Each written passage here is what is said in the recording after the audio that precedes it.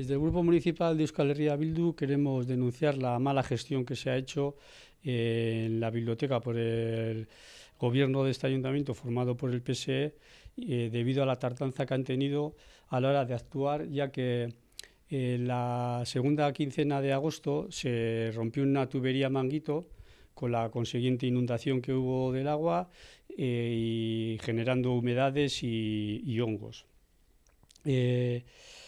en el tiempo, bueno, pues pasó el perito a hacer un peritaje, pasó salud laboral, bueno, recomendando que se abrirían las ventanas, algo que es natural. Y lo que nos preocupa es la tardanza. Luego estaban esperando a que pasaría el parque móvil y este no pasó hasta el 20 de septiembre. Por un lado, nos preocupa la tardanza del parque móvil en, tardar en, pasar por, por la biblioteca. ¿Un mes? Sí, más o menos un mes. Eh, no por culpa de los trabajadores, sino por culpa más bien de la situación en la que se encuentra dicho parque móvil, ya que está a día de hoy en cuadro. Otro de los problemas que el ayuntamiento, eh, bueno, el gobierno no le pone una solución y está en, cuadro, cuadro, vaya, eh, el personal del parque móvil. Eh, hay que tener en cuenta varias cosas. La, la parte del aula infantil ha estado cerrada a día de hoy está abierta pero sigue con humedades. Eh, los hongos y dichas humedades, las trabajadoras se han repartido un poco para trabajar por la biblioteca, pero alguna ha tenido que trabajar en esa zona con el consiguiente problema de salud que les, que les ha generado. Y entendemos que esa falta de agilidad pues es preocupante, ya que para poner unos deshumidificadores no hace falta andar muy espabilado ni saber mucho. Eso hubiera ayudado ya desde el principio a que el archivo, que también ha cogido humedad, tanto como los libros, tanto como la zona de trabajo, como la zona del aula infantil, pues no se hubiera deteriorado, sobre todo los libros, que sí nos preocupa, y el archivo, que hayan cogido humedad. Eh, entonces, eso por, un lado. Luego entendemos que, pues, eh, bueno, hablan de gestión y es una gestión sencilla, pero se demuestra cómo el PSE eh, este ha hecho una mala gestión de esta situación. No es que haya un riesgo muy preocupante para la salud de las trabajadoras. Eso te iba a decir, que para tanto ha sido esa, esa rotura de esa tubería como para que se ponga en peligro la salud. En peligro nunca, no ha estado. Lo que está claro que siete, ocho horas, lo que están, lo que más o menos trabajan, digo ocho, pero serán siete horas trabajando con esa humedad, pues te genera eh, la respiración, picazón de ojos, o sea, genera y son muchos días. Y ahora se sigue trabajando. Evidentemente los, hay deshumidificadores puestos porque se pusieron a partir del día 20.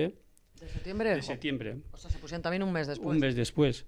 Eh, pero estar allí tu jornada laboral metida y tan solo con las ventanas abiertas, pues sí genera una situación incómoda a la hora de trabajar. Los hongos, pues también te pueden generar al final.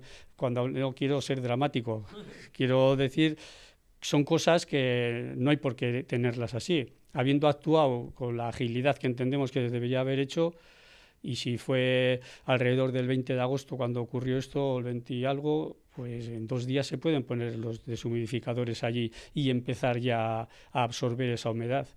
Sí, porque claro, la reparación me imagino que será cosa del seguro, que eso suele llevar su tiempo. Sí, eso y luego evidentemente entendemos que ahora se tiene que esperar a que aquello, la humedad desaparezca y que los hongos se le, hay que hacer un tratamiento, pero bueno, el seguro entendemos que será el responsable de ese.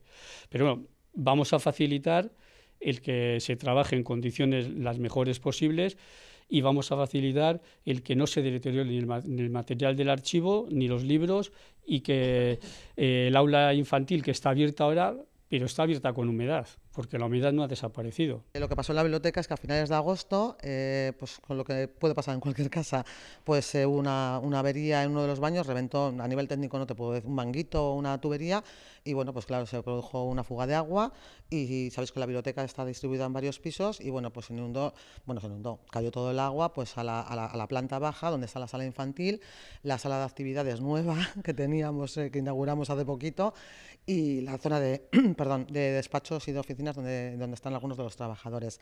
Entonces, bueno, pues, eh, pues se afectó a, como te he dicho, sobre todo a las actividades, algunos alguno de equipamiento informático, telefonía, y bueno, pues la humedad por, por toda la pared, pared, fue cayendo, pues bueno, como es que te pasa en casa.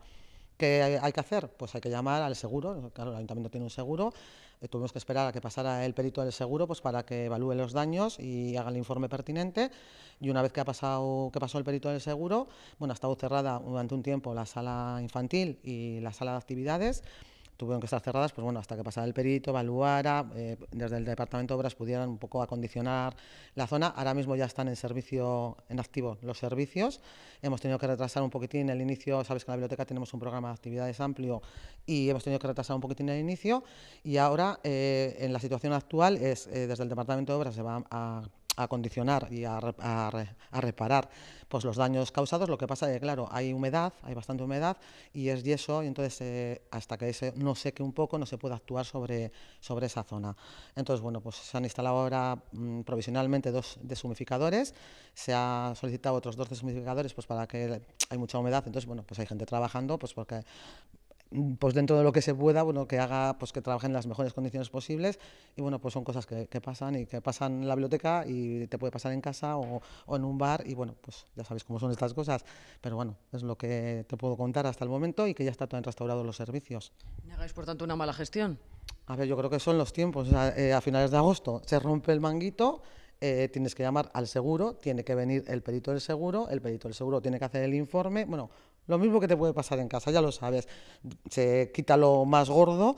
Eh, una vez que el perito del seguro ha hecho su informe, el Departamento de Obras inicia las contrataciones o los trabajos que tenga que realizar para ir acondicionando, pero no todo se puede eh, solucionar de un día para otro. Así como el equipamiento informático ya ha sido reparado o la telefonía móvil, eso se reparó enseguida.